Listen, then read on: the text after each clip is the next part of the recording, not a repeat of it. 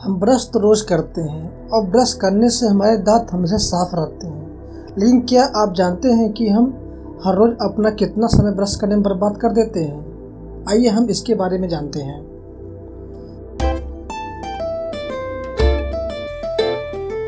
दरअसल दोस्तों, हम हर सुबह ब्रश करते हैं, पर सिर्फ़ ब्रश करने का समय मतलब हम अपने ज़िंदगी का उनतालीस दिन बर्बाद कर रहा है। है ना अमेजिंग फैक्ट्स इसलिए सेव योर टाइम दोस्तों, अगर ये फैक्ट जानकर आपको अच्छा लगा हो तो हमारे चैनल को लाइक करना ना भूलें और कमेंट बॉक्स में ज़रूर बताएँ कि आप ब्रश करने में कितना समय लगाते हैं। तथा इसी तरह अमेजिंग वीडियो देखने के लिए हमारे चैनल को सब्सक्राइब करके बेल आइकन बटन दबाना ना भूलें। मिलते हैं अगले वीडियो में।